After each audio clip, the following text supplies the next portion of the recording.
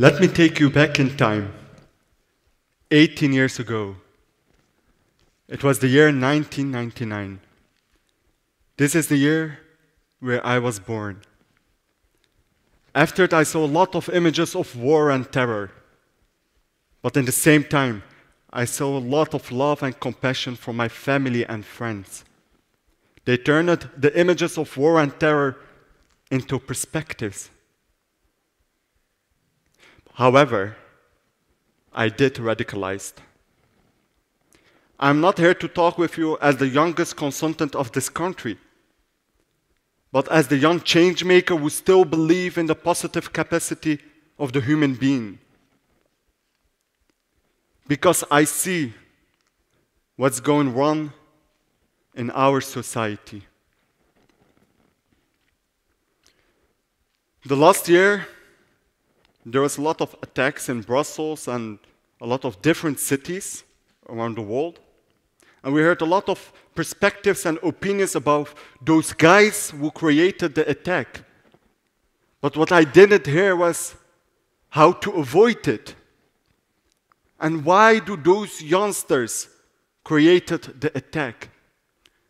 So as a 16 years old boy, I was sitting on my bed and did some research about how and why do those youngsters who were older than me and where their mother's love becomes a life taker. That's the place where I created the cycle of radicalization. Yes, the cycle of radicalization. But to understand this definition better, we must all know what does radicalization mean in theory. Radicalization means comes from the word radix, that's mean the root. So when you're against an existing system, I want to move the tree, you must move the root with it. In the history, we see a lot of radicalized persons that were heroes, like Nelson Mandela and Martin Luther King Jr.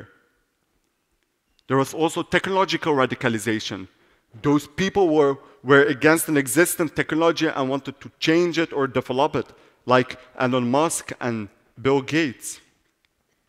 But those people took the positive side of radicalization, the positive way of radicalization. To make it clearer to you all, I can confirm that we all, the 100% that sit or stand in front of me, is or were one time radicalized. Because you all were one time against an existing system that you see in your own society. So, to go back, so I want to talk about those individuals who were radicalized, but in a negative way. They become a terrorist. What's the reason behind it? So I took the cycle of radicalization, I defined it with three words perspective, hope, and love. When someone loses his perspective in the future, and then his hope to be meaningful in the society, and as less the love that he need, he will become a terrorist. And when we look deeper to the majority of those terrorists, we see that they have a history of delinquency and drug dealing. But then there is the outsider who gives them the hope, the perspective, and the love that they needed. Not us, the government, but them, the extremist. So to make it clear, I want to talk about with example of the letters of Salah Abdeslam. He was one time the most searched terrorist in the world. He wrote three letters, one to his mother, one to his sister, and one to his fiancée. In these letters, he explained the reason why he became a terrorist. But for me, it was a clear evidence of him entering the cycle of radicalization. Firstly, we have perspective. When someone loses his perspective in the future, then he will be a rebel. He will be against the society where he lives in.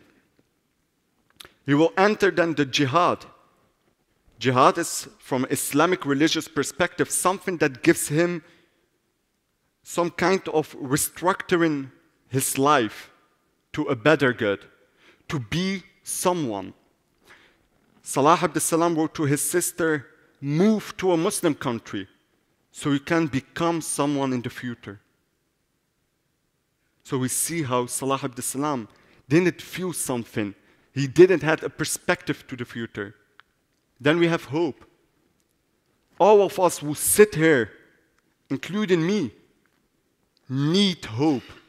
Hope of being meaningful one day in the society.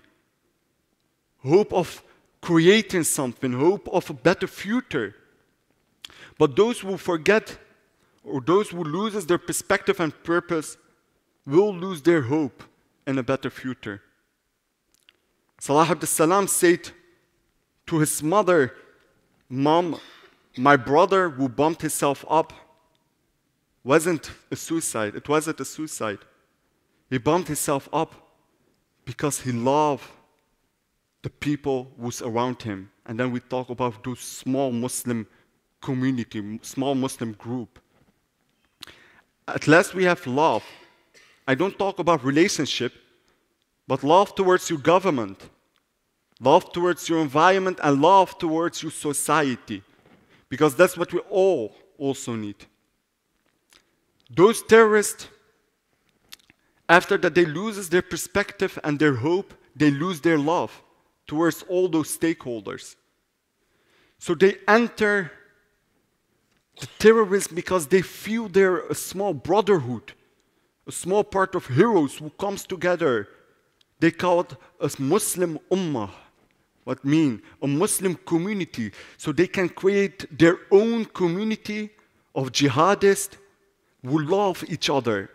And all of them, all the individuals, lose their love and entering in this environment where everyone loves each other.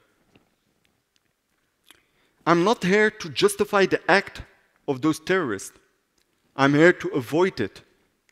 I'm here to give all those youngsters the tool to become meaningful in our society and to feel good in their self.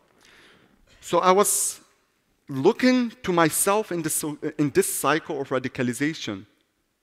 We can all do the, this practice. Firstly, perspective. When I was 12, I wrote my own book about how I want to change the economic and politics. That was the time where I was radicalized. That was the time where people were around me and said, Wow, you're only 12, 12 years old and you write your own book. After that, I was 16 years old. I started my own first company and was supported by different projects like Boost and started KBC. They gave me a purpose to live, a perspective of being one day a successful man. Then hope. Everyone around me was saying, You will be the new Mark Zuckerberg. So I had hope in the future. I was thinking, I am someone. I can be someone. I'm a part of this society. And then at last, we had love. Believe me, when you have the perspective and then the hope, you will get a lot of love of the people around you. So I was filled up with love. So, how? So, what was the most important thing in this cycle of radicalization for me? It was talent, developing my talent. So, how can I develop the talent of all those youngsters around me? I started with a project to build my own talent incubator.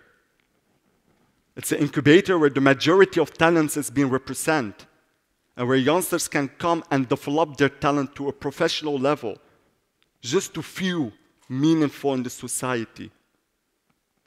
But I knew that I can't do it alone.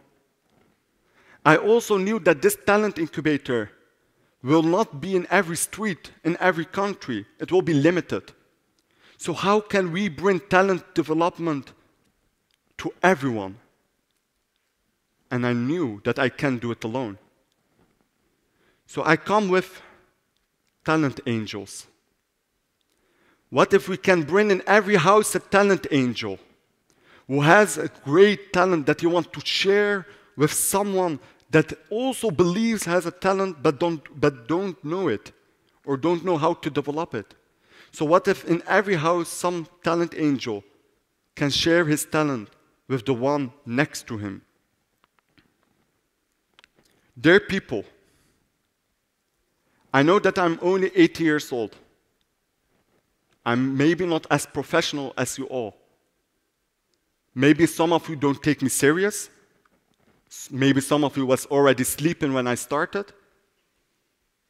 But the past two years was really difficult for me because I had this huge passion of changing and creating a meaningful tool for those youngsters.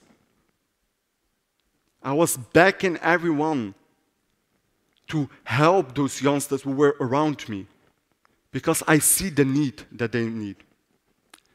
So, people, I beg you all, before it's too late for our generation and the generation after us, let us all be talent angels so we can give perspective to those youngsters, to give them hope in their own future, and to be loved. Let us bring Charlotte and Mohammed together, not as lovers, not as lovers, but as talent mates. Please, let us share our talent.